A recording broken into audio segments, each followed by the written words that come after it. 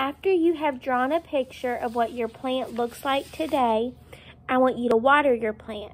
So you don't need to put a whole bunch of water on it because you don't want to drown the seed. You just want to fill, um, you just want to pour, enough water where all the soil around it is wet. That's your main goal, just make sure that all the soil around it is wet.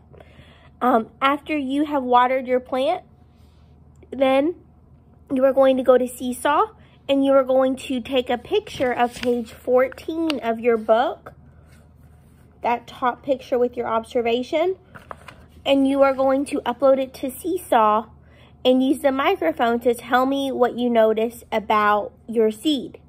Um, has anything happened to it? Does it look the same as it does, as it did whenever you planted it on Wednesday? What does that look like?